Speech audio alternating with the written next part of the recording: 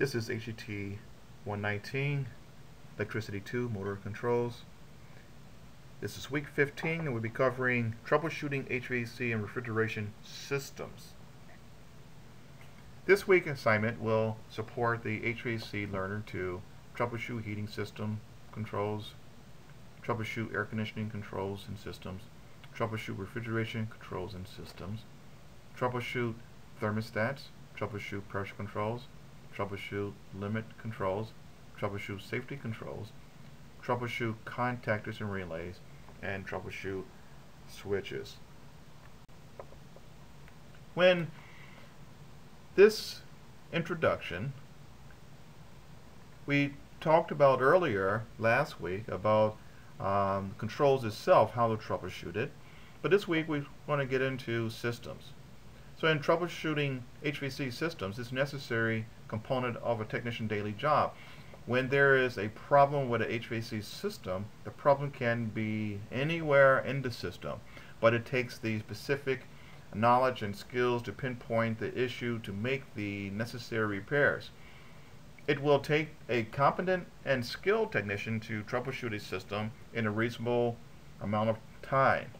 Therefore, knowing how to use the correct tools, having the technical knowledge, and having the craftsman slash mechanical skills to complete the job is critical. The first step in troubleshooting is having the technician to learn how to use the critical thinking skills to evaluate what at hand and eliminate unnecessary information which can confuse the problem. After that point, testing and verifying the problem can help pinpoint the problem and not the source of the problem. Diagnosing the problem and making the repairs is the final step in the troubleshooting process, but not having craftsman skills, the problem can reoccur because of poor installation. Consequently, a technician must be well-rounded in both technical and mechanical skills. The terms that the learner need to research this week is troubleshooting, craftsmanship, test equipment, voltmeter, ammeter, and ohm meter. Current flows through the human body can be deadly, therefore precautions should be taken to decrease the likelihood of an electrical hazard. If small amounts of current flows through the heart, it could stop the heart from beating. With that in mind, a person must keep the body insulated from having current from making contact to their body. Wearing special PPEs, personal protection equipment, can eliminate that or help slow that process down. So the combination of voltage and current through the human body can cause various types of issues from a small sensation to paralyzing the body.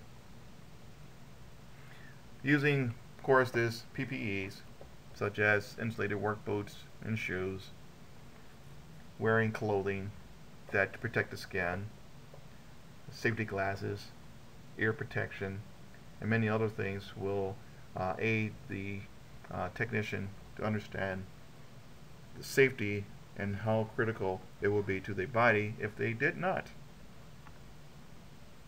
So using other type of things, we talked about it last week, talking about uh, the purpose of the, using this type of equipment, PPEs, but it is important to understand that it must be worn at all times.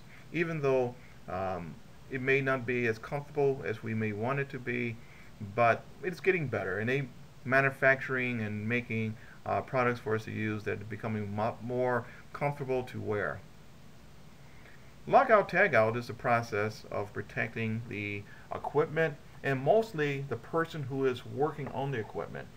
In many job sites, there might be multiple trades working on uh, a piece of equipment, and each person must be um, dedicated to their own safety. So everyone on the job or on a piece of equipment must have a lock and tag out the equipment for themselves. Not someone else doing it for them, but they are doing it for themselves. So a lot of times they will have a multiple HASP connection where all the tradesmen can lock out and put their own lock on that piece of equipment. So looking at areas where uh, problems can occur, anything that electricity is connected to, it must be uh, understanding that it can be a hazard. And so uh, protecting themselves from the power, and looking for anything that is connected to a power source need to be considered that it can be unsafe. So taking your time, using the right tools, the right type of safety uh, equipment to be able to protect them from being grounded to the uh, electrical equipment. So troubleshooting is a process of understanding and analyzing and problem solving. And actually troubleshooting is a process of critical thinking. And without this critical thinking skill, technicians will have a problem of diagnosing equipment. It's just not looking at the uh, a problem and then replacing a part, but to analyze the problem and determine what caused it to have that problem. And so it's a process. And it takes some time, uh, years to become very competent of troubleshooting because of all the different variables that can happen. So therefore, critical thinking skills is what troubleshooting is all about. So critical thinking or working through uh, problems or service problems, it's not magical thinking or it's not just uh, casually looking at a problem that occurred or trying to look at things that happened in the past and to draw correlations between those um, issues that happened in the past, but uh, actually to take information and to uh, such as temperatures and pressures uh, or how things sound or using your senses to, to be able to determine uh, the problem and really using critical thinking and putting everything together and to come to a uh, conclusion. So this is a skill that may take years to develop. And a good technician always will try to develop their uh, skill of seeing things differently every job they come to. Not just because they had the same issue last week, but because this week's problem might be something else causing it to happen and to determine the issue. So, understanding the sequence of operation of a refrigeration or HVAC system is the first step in troubleshooting knowing how it's supposed to work. That is the sequence of operation. Knowing how it's supposed to work when it is normal. Of course, when there's a problem, the system is abnormal. So knowing how to read electrical diagrams will aid the technician to work through electrical problems. Using the tools such as uh, voltmeters or amp meters or even thermometers and other type of uh, um, test equipment will help give the technician the skills or knowledge to make a logical decision of what the problem is. So even though going through and, and, and looking at troubleshooting and going through uh, the knowledge of the equipment itself, the technician just cannot stop there but to verify everything that he checked. So voltmeter is used to measure the supply voltage and of course it could be used for other things too. But just to know what the voltage to make sure that the voltage is not too high or too low that it's applied through equipment. So the, basically the voltmeter is a test equipment that's used to uh, knowing that the supply is correct. Manufacturers also for their equipment will use uh, manufacturer flow charts or uh, troubleshooting charts to help diagnose the problem of course, this will aid the technician. So to help the HVAC and refrigeration technician understand complex issues with HVAC equipment, manufacturers develop flowcharts to aid the technician in the troubleshooting process. The equipment may have indicator lights on the circuit board that will flash and give an indication of possible problems and issues with the uh, equipment by reading the number of flashes from the circuit board and looking up the information from a chart, the technician can start the troubleshooting process. Also, the manufacturer may use a flow chart that will take the technician step by step to locate system issues based on the symptoms.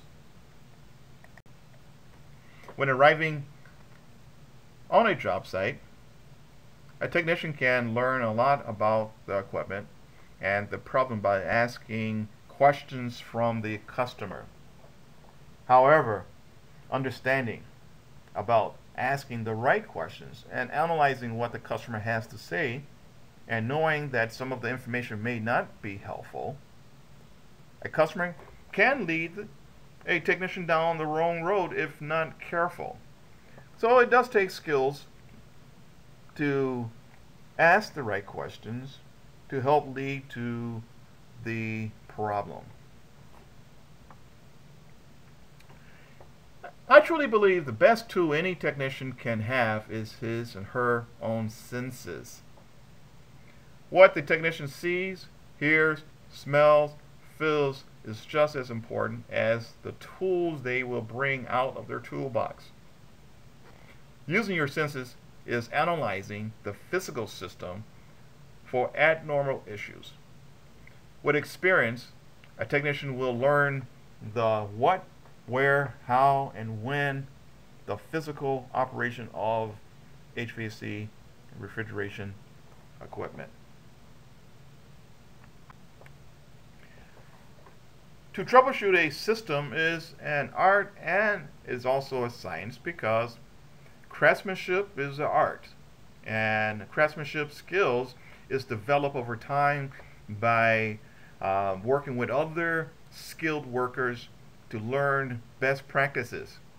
But it's also a science because it is technical and you will use the science behind it to help understand what to look for and what not to be concerned with. Breaking the system into smaller systems issues will help the technician to focus on the real issue and not on things that may not be concern of the system operation. Once the technician has, has broke the system and, and problems down to the problem at hand, everything that is not of concern will be left alone and should be left alone, and the focus will be put on the problem. For example, if a technician found a condensing unit for air conditioning system not operating and he or she push in the contact or contacts and the condensing unit started up, the technician should understand that the problem is not with the line voltage and the problem is possibly is in the control circuit. So looking at the control circuit and the controls in that circuit will be the task at hand. By moving the system step by step and eliminating the things that is at no concern, the technician can move closer to the real issues. Once the technician believes he or she found the problem, the technician must test the problem with meters to verify the issue. One of the most difficult things for a HVAC and refrigeration technician to learn is how to eliminate unnecessary information and concentrating on the task at hand. Where the problems stop is where to start looking for solutions.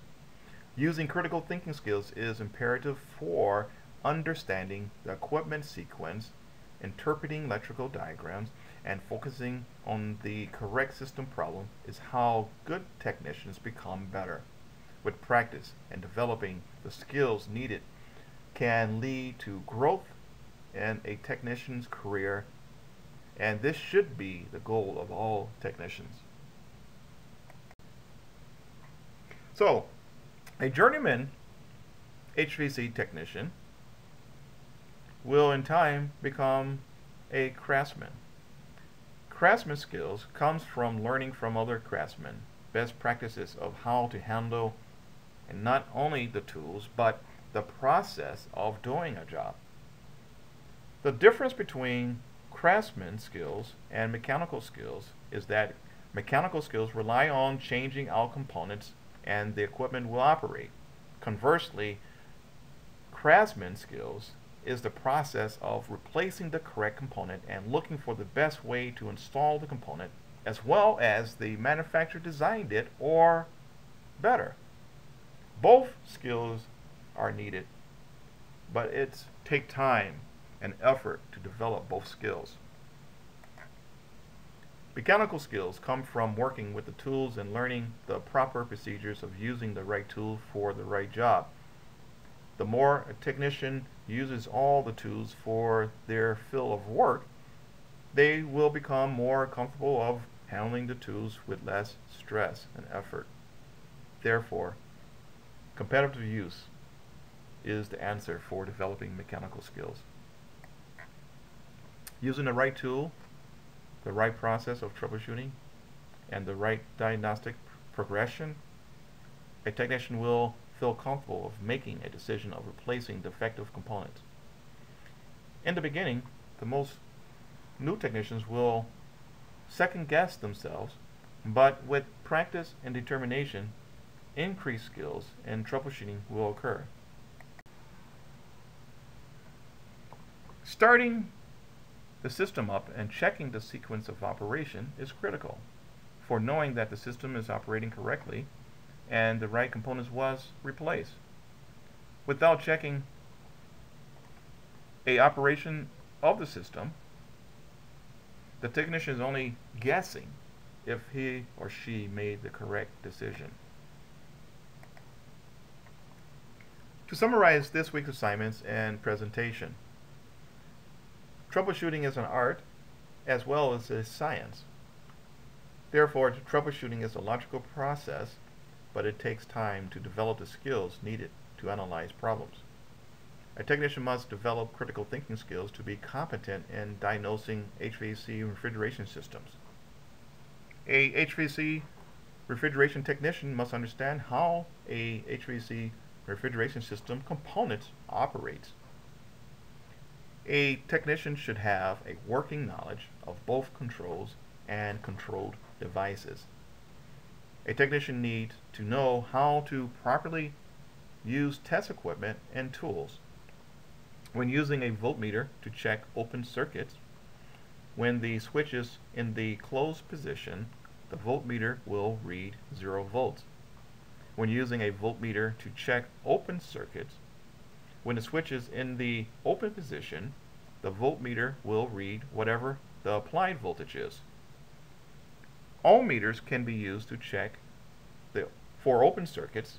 However, the voltage to the system must be turned off to the meter to keep from damaging the meter.